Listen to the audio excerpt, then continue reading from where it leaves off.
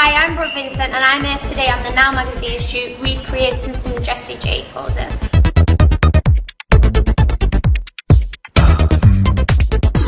I'm a really big Jessie J fan so to be in her clothes and her hair and everything's been really really cool.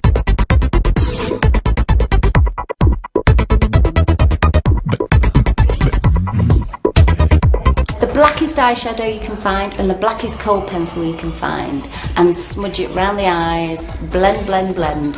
Lots of lashes. I've used real boho fluttery eyelashes just to emphasise the look. You can get the eyeshadows, you could go to MAC, you could go to Rimmel, numbers, and anywhere will sell a really black eyeshadow. Just make sure it's not too charcoaly, otherwise you don't get the effect. Anybody can wear that look.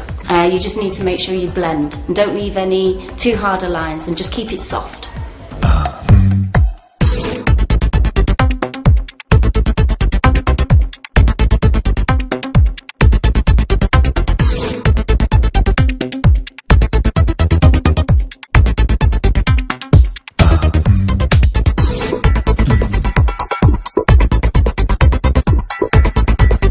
Loved the clothes. I loved the whole attitude, the kind of vibe we had going on. Um, like I said, I've been to see Jessie J.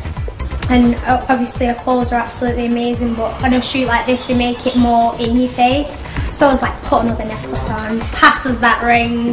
So yeah, I had a really good time. I liked being Jessie J. I seen her um, a few months ago live and the costumes are just like hello so obviously more for a shoot they're more extravagant. And I was like oh I like this and I like this and I like this. So yeah it was really good